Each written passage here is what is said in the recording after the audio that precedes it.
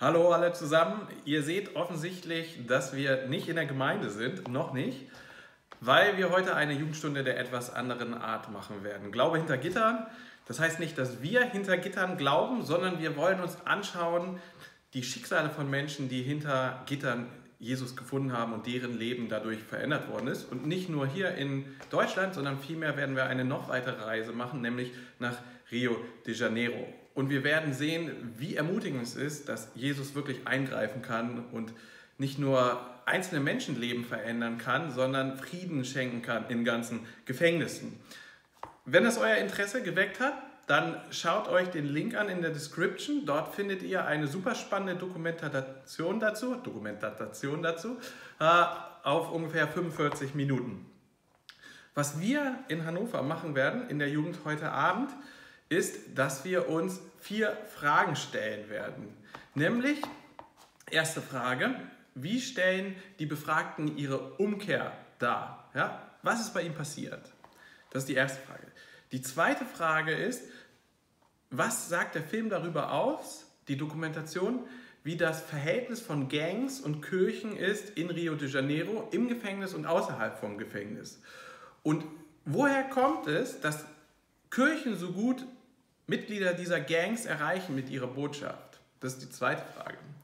Die dritte Frage ist, welche Aussagen, die im Film getätigt werden, müssten wir anhand der Bibel vielleicht auch kritisch betrachten? Ja? Wenn wir die Bibel in die Hand nehmen und da einige auch theologische Aussagen sehen, wo würden wir sagen, ah, das findet sich vielleicht nicht so im Gotteswort? Und vierte Frage an jeden Einzelnen von uns, was können wir aus dem Film lernen? Inwiefern kannst du, inwiefern kann ich in meinem Leben etwas ändern? Am Beispiel von Menschen, die wir dort sehen. Das wollen wir machen. Wie gesagt, wir stellen uns diese vier Fragen. Wir schauen erstmal an, wie wird das im Film dargestellt und danach gucken wir direkt in die Bibel und überprüfen das, was wir in dem Film dargestellt bekommen, anhand von Gottes Wort. Warum machen wir das eigentlich als Jugend äh, BEG Hannover? Warum machen wir so viel inhaltliche Arbeit?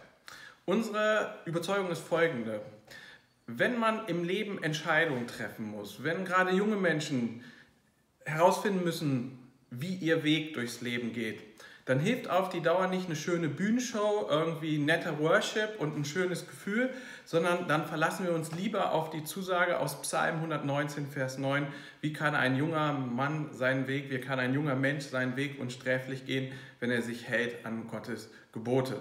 Und das wollen wir tun. Und deshalb trainieren wir quasi in der Jugend. Wir sehen etwas, was um uns herum passiert.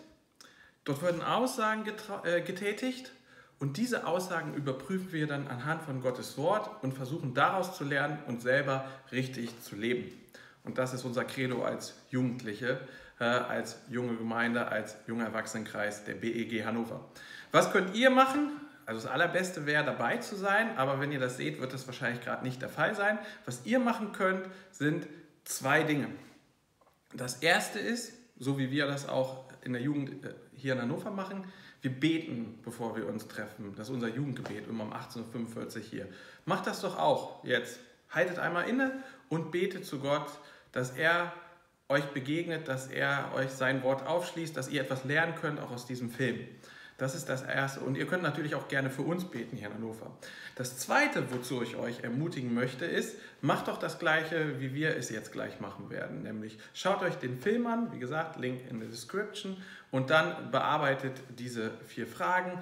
Ich wiederhole sie nochmal. Erstens, wie stellen die Befragten ihre Umkehr dar? Zweitens, wie ist das Verhältnis von Gangs und Kirchen in Rios Gefängnissen und auch draußen? Und warum erreichen die Kirchen so viele Mitglieder der Gangs mit ihrer Botschaft? Drittens, welche Aussagen, die im Film getätigt werden, müssen wir anhand der Bibel auch kritisch hinterfragen?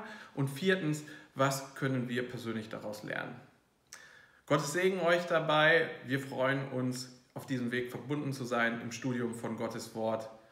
Macht es gut.